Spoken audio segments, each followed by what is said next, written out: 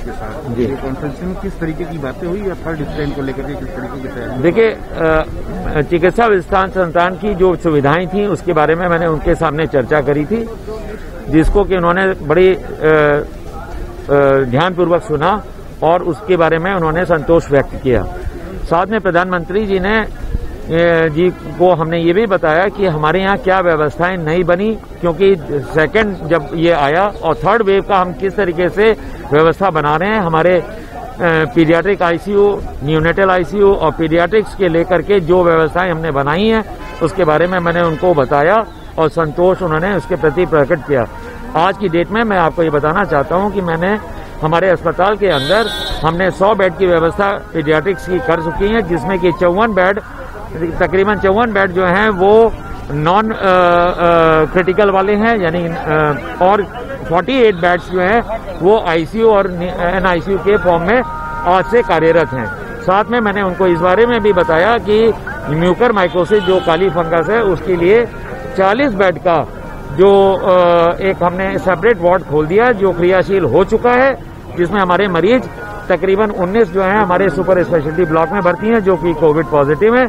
और जो Covid positive नहीं है लेकिन उनको काली फंगस हो चुकी है उनको हमने सेपरेट वार्ड में भर्ती करके उनका इलाज शुरू कर दिया है जिसमें कि एम्फोटेरिसिन बी नामक जो दवा है उसका किस तरह से प्रयोग करना चाहिए क्योंकि ये भी एक स्पेशलाइज थिंग है इसको हर आदमी को सीख करके ही करना चाहिए। सर एक बड़ा एरिया कवर करता है जी, जी। तो ऐसे में किस तरीके की तैयारियाँ थी? क्या प्रधानमंत्री जी को संतोष था? जी। ये इस पे थोड़ा प्रकाश जी, मैंने, मैं आपको यहाँ पर सूचित करना चाहूँगा कि जनवरी के माह में संख्या बहुत कम हो गई थी। लेकिन हम लोगों ने अपने चिकित्सा विज्ञान संस्थान में इस चीज़ को पहले से ही समझ लिया था कि सेकेंड वेव आएगी। और सेकेंड वेव की तैयारी हमने करीबन अपने सुपर स्पेशलिटी ब्लॉक में 130 बेड और ट्रॉमा सेंटर में चौरानवे बेड का हमने कर लिया था।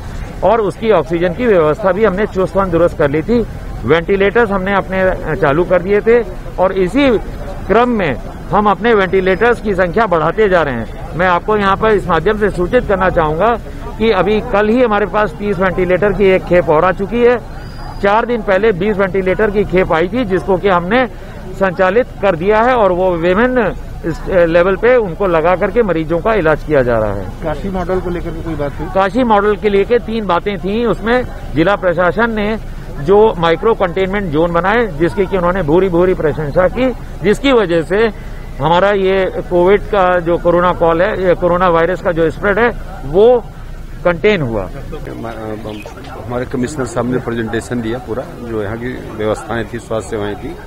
उसके बाद जो चारों अस्पतालों के जो प्रमुख अस्पताल थे, उसके प्रमुख अधीक्षकों ने, जैसे डीआरडीओ के प्रमुख बवेजा साहब ने बीएचयू के डॉक्टर के के गुप्ता ने, कबीर चौरा के डॉक्टर प्रसन्न कुमार ने और टाटा के डॉक्टर असीम ने अपने अस्पतालों के बारे में बताया।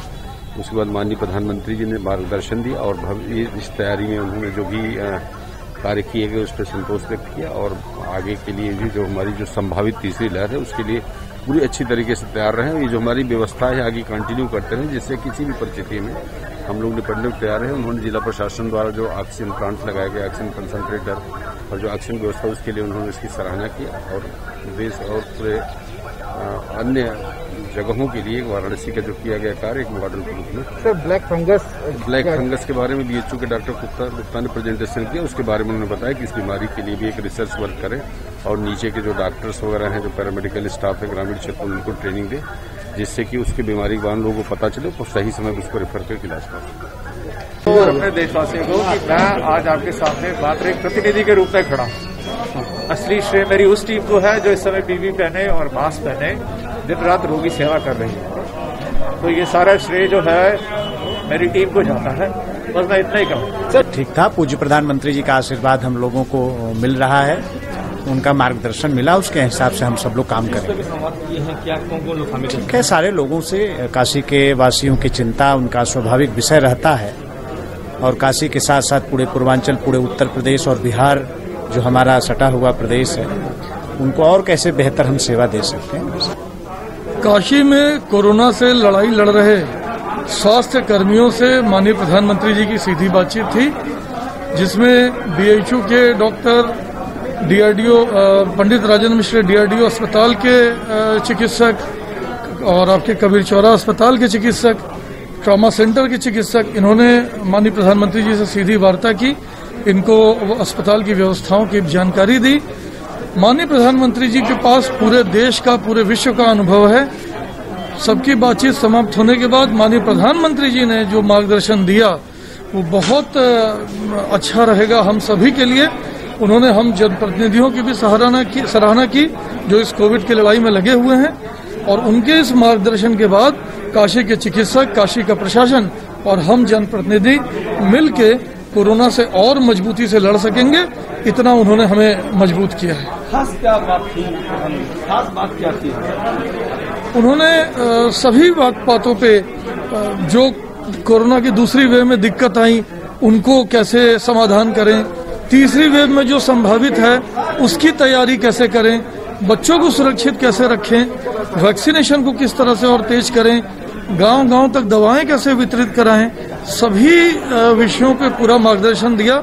मुझे ऐसा लग रहा था कि मैं इस देश के प्रधानमंत्री से नहीं, किसी बहुत बड़े चिकित्सक से बात कर रहा हूँ।